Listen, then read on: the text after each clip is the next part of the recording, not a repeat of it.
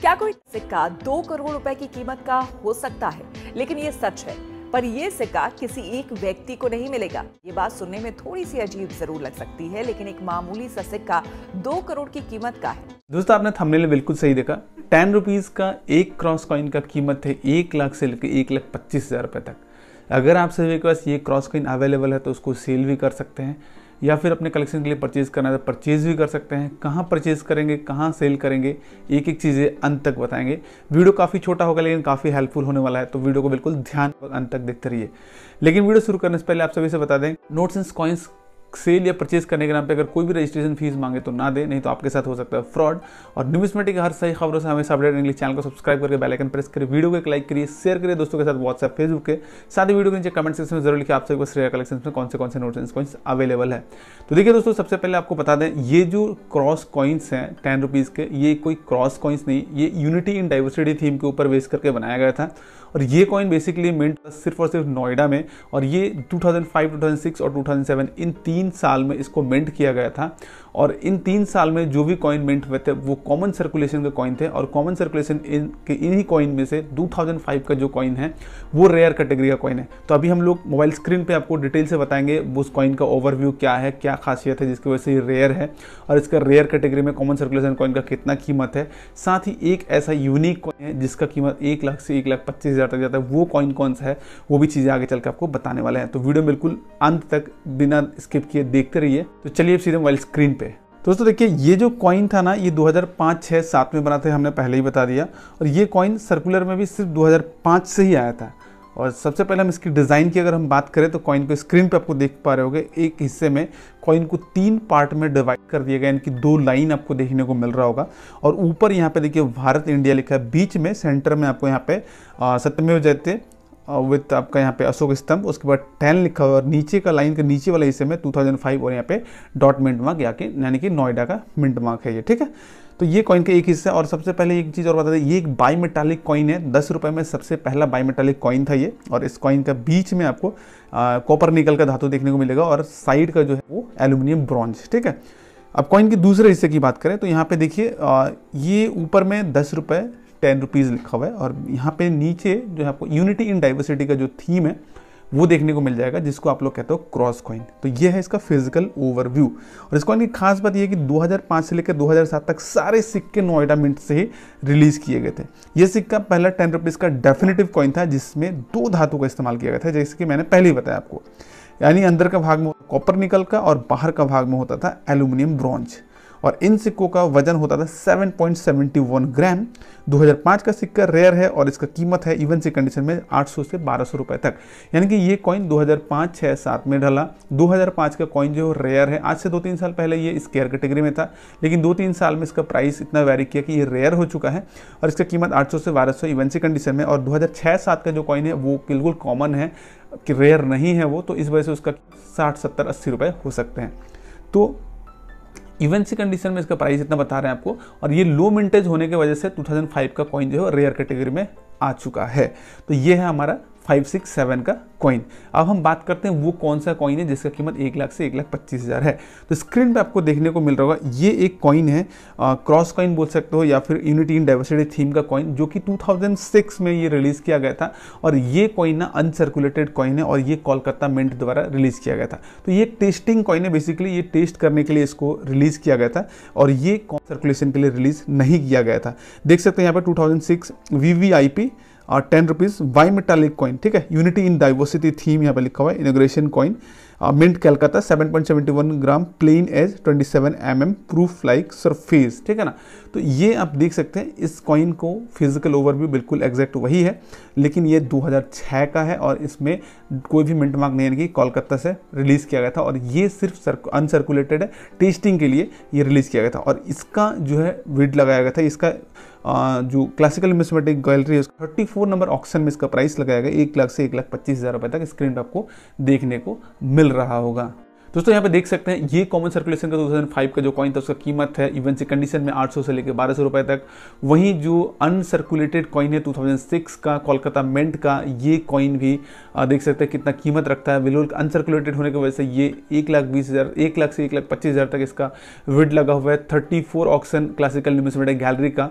तो यहाँ पे अगर आपको सेल या परचेज करना है, आगे चल के अपने नोट्स एंड कॉइन्स को, या फिर ये जो कॉइन अगर अवेलेबल है आप सभी के पास तो आने वाले टाइम पे जो भी एग्जीबिशन होने वाले उनका स्क्रीन पर आपको देखने को मिल रहा होगा डिटेल्स उन एग्जीबिशन में जाकर विज़िट करिए कलेक्शन के लिए परचेज भी कर सकते हैं या फिर अपने कलेक्शन से सेल भी कर सकते हैं।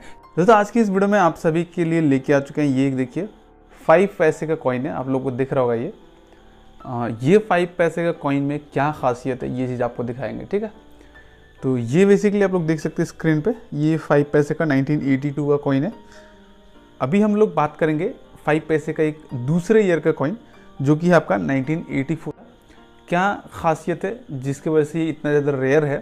और ये सारा चीज़ डिटेल में बात करेंगे, लेकिन आप सभी से रिक्वेस्ट करेंगे, गुजारिश करेंगे कि आप सभी के नोट्स एंड कॉइन सेल या परचेज करने के नाम पर अगर कोई भी रजिस्ट्रेशन फ़ीस माँगता है तो उससे मत दीजिए, नहीं तो आपके साथ हो सकता है फ्रॉड तो देखिए बेसिकली आज हम कंप्लीटली डिस्कस करेंगे ये फाइव पैसे कॉइन का रेयरिटी के ऊपर, उसके बाद क्यों इतना रेयर है? ये चीज़ आपको बताएँगे, क्योंकि आप सभी को अभी कुछ कॉइन्स के ही वीडियोस मिलेंगे, जिसमें सबसे रेयर रेयर कॉमन सर्कुलेशन के जो कॉइन होंगे, उनके वीडियोस आपको देखने को मिलेंगे। साथ ही वीडियो के अंत में आपको ये भी पता चलेगा, आप अपने कलेक्शन के लिए इन रेयर फाइव पैसे के कॉइन्स को कैसे खरीद सकते हो या फिर कैसे अपने कलेक्शन से सेल कर सकते हो, ठीक है?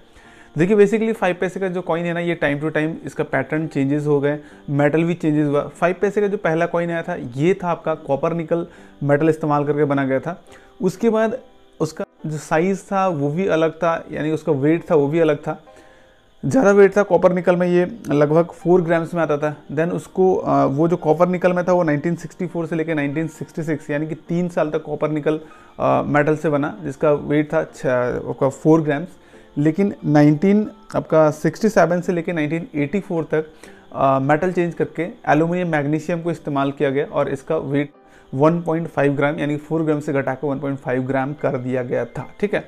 अब देखिए 1984 की जब बात आती है तो 1984 का जो कॉइन है ना, वो है रेयर एक्चुअल में।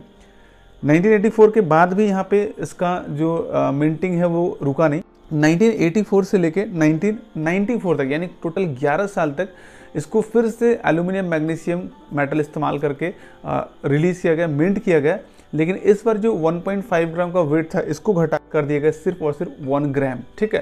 तो इसलिए मैंने कहा टाइम टू टाइम इसका पैटर्न चेंज हुआ टाइम टू टाइम इसका वेट चेंज हुआ टाइम टू टाइम इसका आपका मेटल भी चेंज हो गया।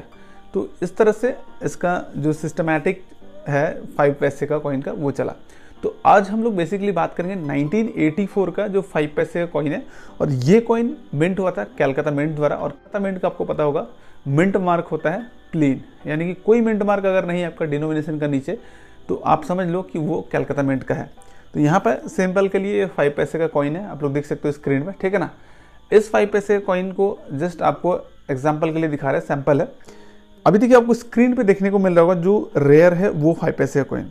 इसकी डिटेल देखिए, पीरियड है 1984 का, ठीक है? 1984 का ये कॉइन है। मेटल इसमें इस्तेमाल हुआ है एल्यूमिनियम, मैग्नीशियम।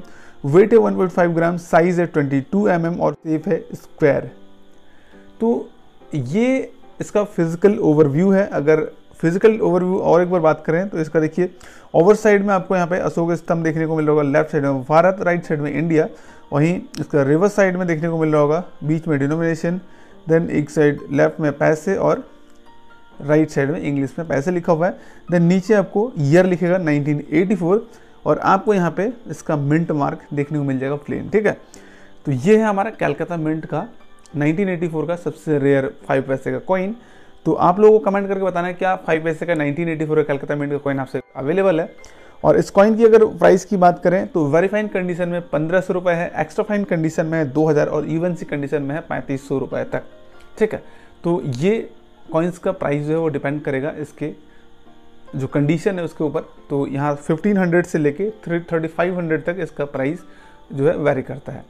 तो अभी देखिए, पिछले वीडियोस में मैंने बताया है कि आने वाले टाइम पे होने वाले कुछ चार ऐसे एग्जीबिशंस के बारे में हमने एक कंप्लीट वीडियो बना रखा है, जिसमें हमने सिर्फ़ जो चार एग्जीबिशंस आने वाले टाइम पे होने वाले हैं, उन एग्जीबिशंस का full detail address with contact number हमने उसका ऊपर वीडियो बना रखा है। तो उस वीडियो को चेकआउट करिए और वहाँ पे जो एग्जीबिशंस है, उन एग्जीबिशंस के आसपास अगर आप लोग रहते हैं तो उन एग्जीबिशन में विज़िट करिए।